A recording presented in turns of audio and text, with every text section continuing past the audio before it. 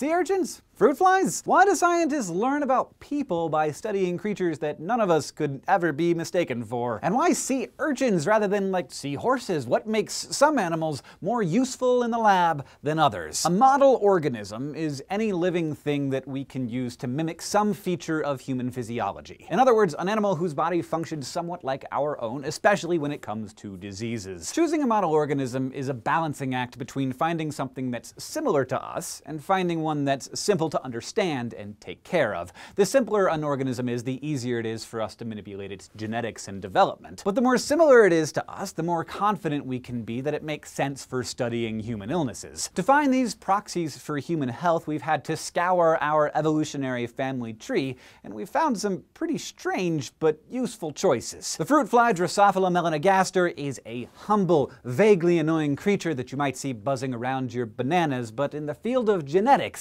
it's been king for more than a century. It's so easy to care for that you can just keep it in a bottle. It produces hundreds of offspring in a matter of weeks, so genetic changes become obvious really quickly. It also has giant chromosomes that are easy to map, and best of all, it has many of the same genes we do. 75% of human genes that are affected by hereditary diseases also show up in fruit flies, and they even have some of the same regulatory genes called Hox genes that basically determine what parts of our bodies go where when our embryos are developing. I know, you'd never guess by looking at a fruit fly, would you? Sometimes a model organism proves useful just because of its simplicity, like the nematode worm Caenorhabditis elegans. An adult worm has just 959 cells, and scientists can trace the development of every single one. C. elegans is so simple that it was the first multicellular organism to have its genome sequenced. Now, it's not very similar to humans, as you might expect, but in a strange coincidence, C. elegans is weirdly amenable to a technology called called RNA interference. This is a technique biologists use to effectively silence or turn off certain genes in an organism by introducing a specialized RNA molecule into its system. By selectively turning genes on and off in C. elegans, scientists can see how the worm responds. And the worms can take in this interfering RNA really easily, soaking it up through their skin or even eating it in their food. In this way, we can probe the function of every gene in their genome, and in the process better understand how genes affect our own health. Now, sometimes you just want the closest organism to humans that you can still grow in a bowl on your lab bench. Enter the purple sea urchin. This might seem like a super arbitrary choice, but in terms of the very, very earliest phases of animal development, like when we're just a tiny little cluster of cells,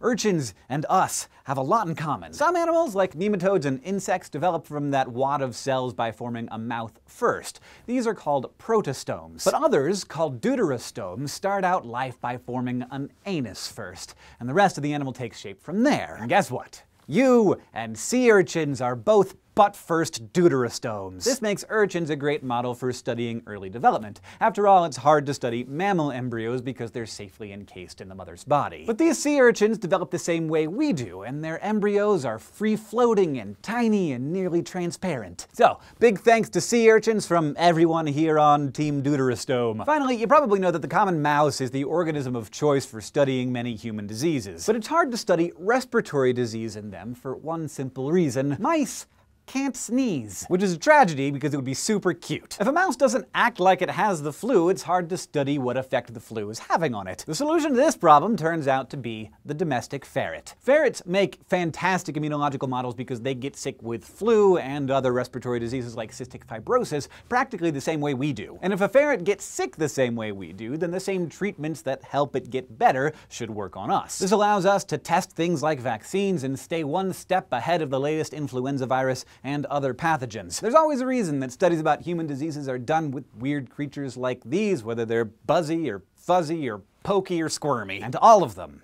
I say thank you. And thank you for joining me for this SciShow dose to learn how you can help us keep exploring the world and the universe and the insides of you. Just go to subbable.com slash scishow. And don't forget to go to youtube.com slash scishow and subscribe.